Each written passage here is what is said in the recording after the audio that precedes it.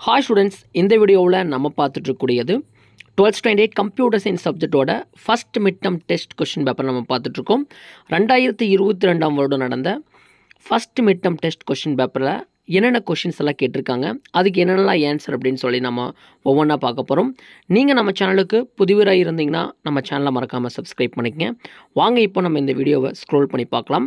First question என்ன கேட்டிருக்காங்க அப்படின்னா the variables in function definition are called parameters so function definition ப்ராக்கெட்டுக்குள்ளே இருக்கக்கூடியது எல்லாமே வந்து பெராமீட்டர்ஸ் தான். நெக்ஸ்ட் வந்து பார்த்திங்க அப்படின்னா ஒரு ஃபங்க்ஷன் எழுதியிருக்காங்க. லெட் அப்படின்னு போட்டு ஃபங்க்ஷன் நேம் ஸ்கொயர் அப்படின்னு கொடுத்துருக்காங்க. இது நார்மலாக என்ன ஃபங்க்ஷன் அப்படின்னு சொல்லி கேட்டிருக்காங்க. The above function square is days function கேட்டிருக்காங்க. ஸோ இது என்ன ஃபங்க்ஷன் அப்படின்னா பியூர் ஃபங்க்ஷன் நெக்ஸ்ட் வந்து பார்த்திங்க அப்படின்னா ஏன் பியூர் ஃபங்க்ஷன் அப்படின்னு சொல்கிறோம் அப்படின்னா ஸோ இந்த கோடிங்கை நீங்கள் எவ்வளோ டைம் சேம் வேல்யூ கொடுத்து ரன் பண்ணாலும் சேம் ஆன்சர் தான் கிடைக்கும். ஸோ எந்த ஒரு மாடிஃபிகேஷனும் ஆகாது. ஸோ அதனால் இது பியூர் ஃபங்க்ஷன் அப்படின்னு சொல்கிறோம் மாடிஃபை ஆச்சு அப்படின்னா அது இம்பியூர் ஃபங்க்ஷன் நெக்ஸ்ட் வந்து பார்த்திங்கன்னா which are the following build abstract data type அப்படின்னா கன்ஸ்ட்ரக்டர்ஸ் தான் வந்து அப்ட்ராக்ட் டேட்டா டைப் பில்ட் பண்ணுறதுக்கு நம்ம யூஸ் பண்ணுற function the data type whose representation is unknown unknown அப்படின்னா அப்ட்ராக்ட் டேட்டா டைப் நவுன் அப்படின்னு வந் வந்தது அப்படின்னா காங்க்ரீட் டேட்டா டைப் வரும்.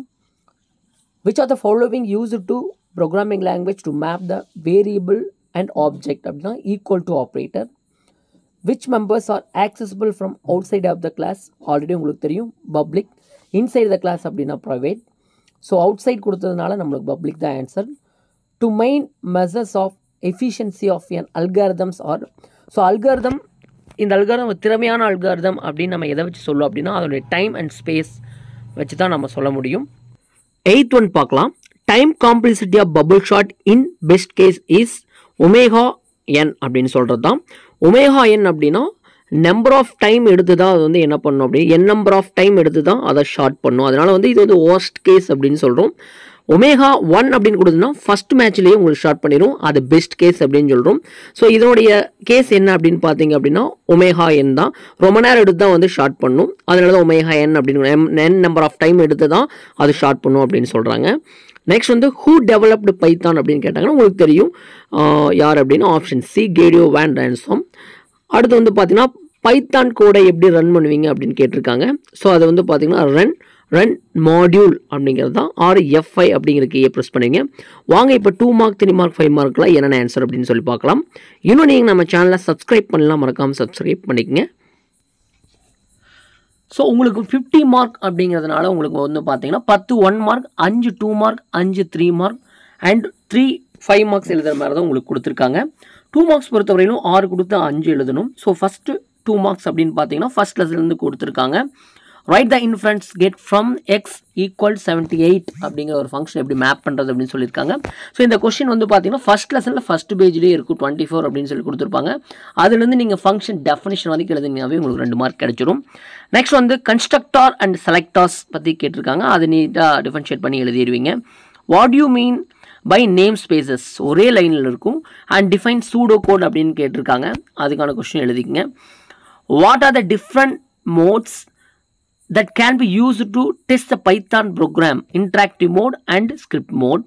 What will be the output? இது வந்து கம்பல்சரி கொஸ்டின் ஸோ வந்து ரெண்டு இண்டீஜரை நீங்கள் உள்வாங்குறீங்க. எக்ஸில் ஒரு இண்டீஜர் எழுதிக்கிங்க ஒய் இண்டீஜர் வேல்யூ எழுதிக்கிங்க.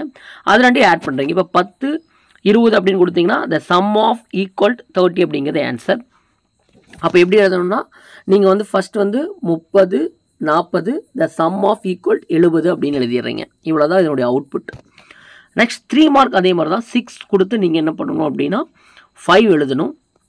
சரி செவன் கொடுத்துருக்காங்க. செவன் கொடுத்துருக்காங்க. நீங்கள் ஃபைவ் எழுதணும்.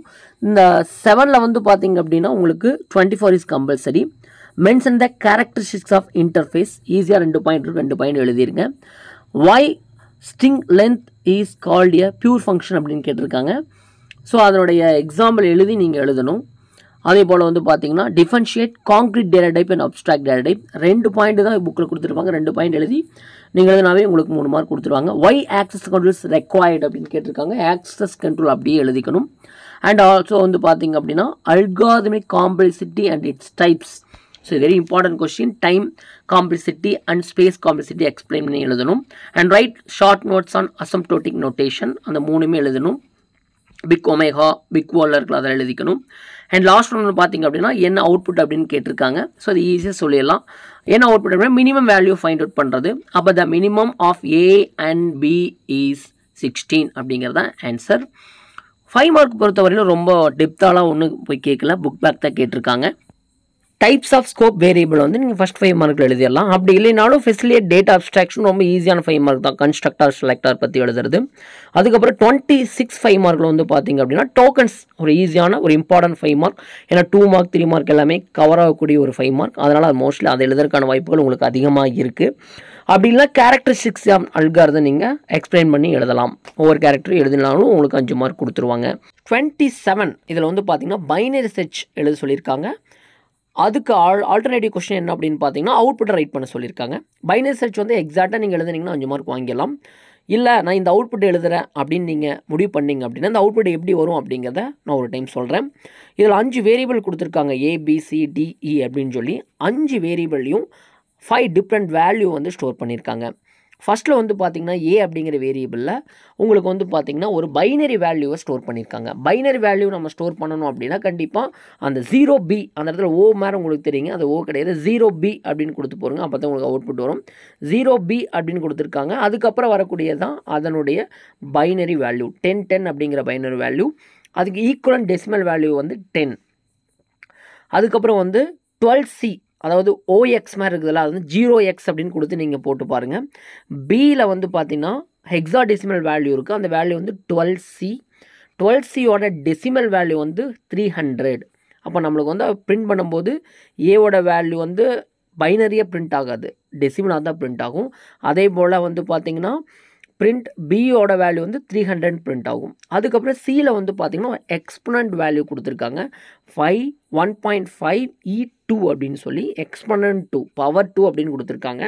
அப்படி அப்படி கொடுக்கும்போது டென் பவர் டூ அப்படின்னு கொடுத்துருக்காங்க. அப்போ வந்து அதனுடைய ஆன்சர் என்ன பண்ண வரும் அப்படின்னா one fifty one fifty point zero அப்படிங்கிறது தான் அதனுடைய ஆன்சர் டெசிமல் ஆன்சர் அதுக்கப்புறம் டி அப்படிங்கிற வேரியபிளில் one plus three point one four J அப்படின்னு கொடுத்துருக்காங்க. இதில் வந்து பார்த்தீங்கன்னா real part and imaginary part அப்படின்னு இருக்கும். ரியல் பார்ட் அப்படிங்கிறது நம்ம வந்து ஒரு இண்டிஜர் பார்ட் அப்படின்னு சொல்லுவோம். One is a real part imaginary part அப்படிங்கிறது ஃப்ராக்ஷனல் பார்ட் நம்மளால் இமேஜின் பண்ணவே முடியாது. அப்படி க- போயிட்டே இருக்கும். அதனால் த்ரீ பாயிண்ட் ஒன் ஃபோர் அப்படிங்கிறது இமேஜினரி பார்ட் ஸோ அப்போ வந்து டி டாட் ரியல் அப்படிங்கிற இடத்துல வந்து ஒன் டிஸ்ப்ளே ஆகும். D dot I M G அப்படிங்கிற இடத்துல வந்து three point one four display ஆகும். ஜே டிஸ்ப்ளே ஆகாது.